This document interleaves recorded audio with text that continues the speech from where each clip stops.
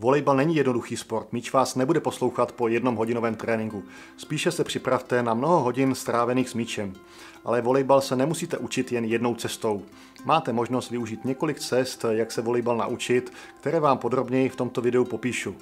Můžete trénovat sami, trénovat o zeď, s rodiči nebo v klubu.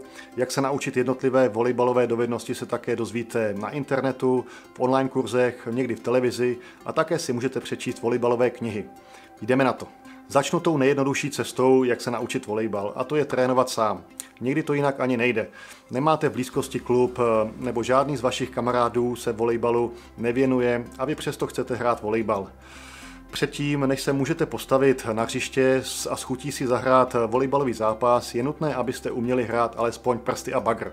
To jsou dvě základní volejbalové dovednosti, které vám stačí na to, abyste si mohli zahrát základní formu volejbalu přes síť.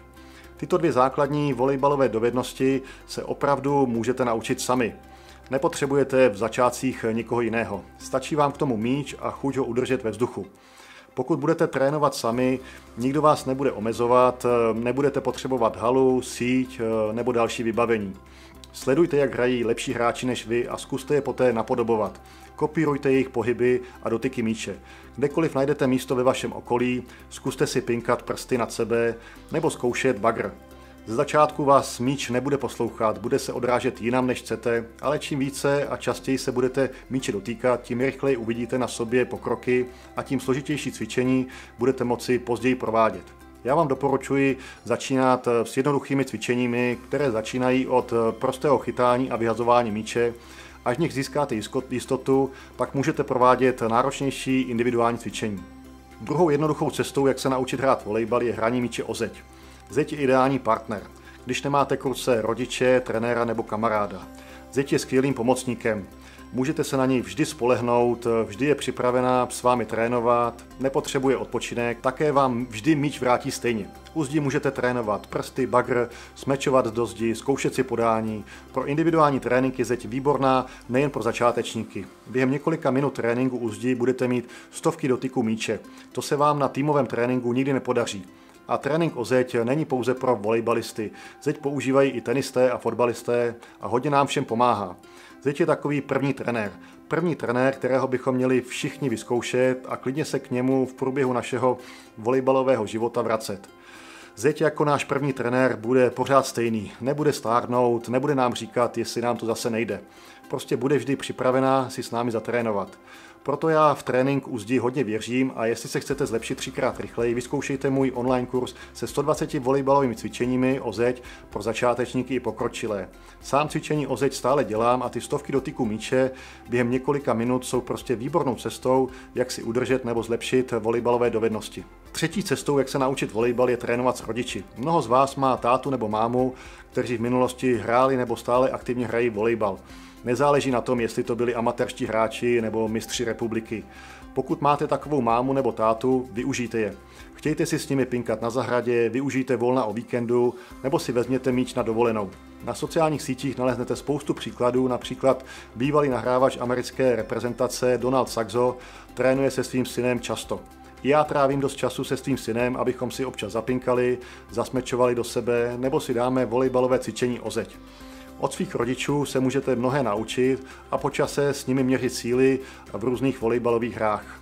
Nejen individuálně, sami o zeď nebo s rodiči se můžete naučit volejbal. Asi nejčastější cestou, jak se naučit volejbal, je vstoupit do volejbalového klubu, kde vás základy volejbalu bude učit trenér. Na světě jsou tisíce volejbalových klubů. Troufám si tvrdit, že i u vás, ať jste kdekoliv, bude někde poblíž klub věnující se volejbalu, protože v České republice jsou stovky klubů. Pokud máte možnost vstoupit do klubu, jděte do toho. Na trénincích se vám bude věnovat trenér, který by měl vědět, jak vás má volejbal učit, jak vás eh, u volejbalu udržet. Navíc budete v kolektivu ostatních začínajících volejbalistů, kteří na tom budou podobně jako vy. Společně se budete učit volejbal.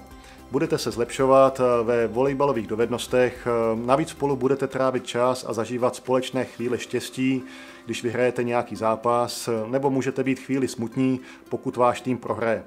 Jedno je jisté, jelikož je volejbal týmový sport, výkon týmu záleží na individuálních výkonech hráčů tak trénování v klubu s dalšími hráči je bez pochyby nejideálnější cestou, jak se učit a zlepšovat ve volejbale. Někdy vám ale předcházející cesty, jak se naučit volejbal, nebudou stačit. Budete chtít více. Nebo nebudete spokojeni s rychlostí a kvalitou, jak se volejbal učíte. Pak můžete projevit zájem o osobního trenéra. Podobně jako to je v případě beach volejbalu.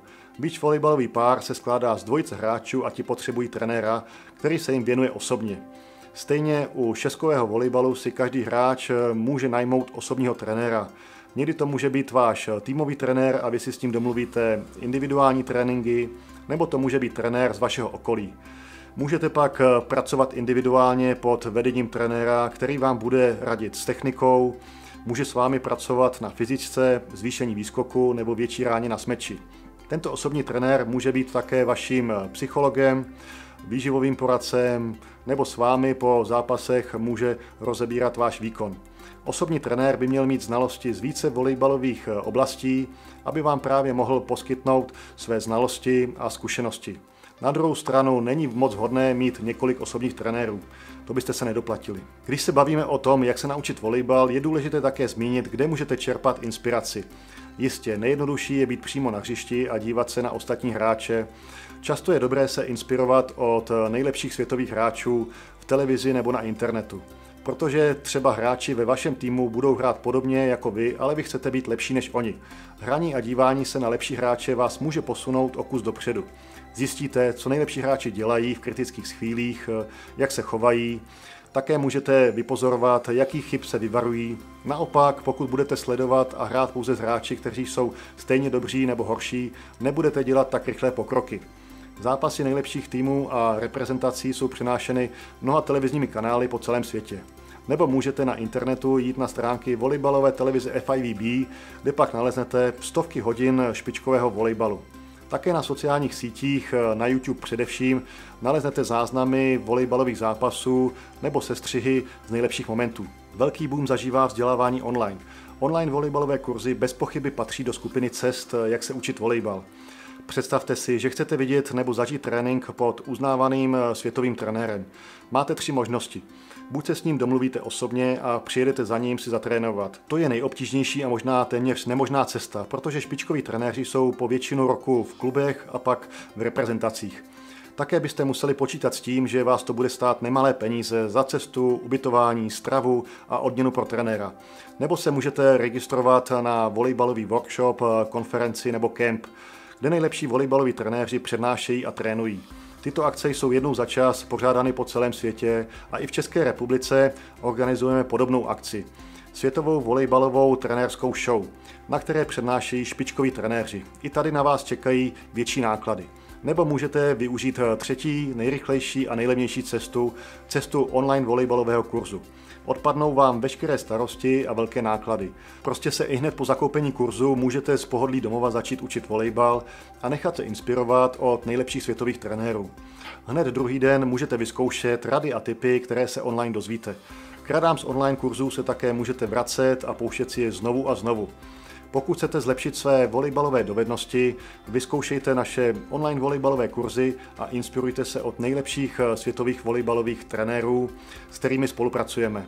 Jsem si jist, že v budoucnu bude přibývat více možností a online volejbalových eh, kurzů, kde se budete moci online vzdělávat a inspirovat se od eh, špičkových trenérů. V neposlední řadě se můžete volejbal učit také z knih. Za poslední desetiletí je na trhu dostání relativně dost volejbalových knih, pár výborných naleznete také v angličtině na Amazonu. Některé knihy jsou dobře napsané, dozvíte se z nich eh, spoustu rad. Na druhou stranu knihy postrádají dynamiku, stejně jako články s volejbalovými radami. Doba se mění, přiznejme si to. Nebaví nás tolik číst. Vše se přesouvá do digitální podoby, na sociální sítě. Videa jsou v tomto směru daleko dynamičtější a záživnější pro začínající mladé volejbalisty a proto i obliba papírových knih bude klesat a více materiálu pro volejbalisty bude k nalezení v digitální podobě. Tak to jsou mé rady, jak se učit volejbal. Pevně věřím, že vám těchto 8 jednoduchých cest, jak se naučit volejbal, pomohou stát se lepšími volejbalovými hráči a hráčkami. Niente Stefano, ahoi!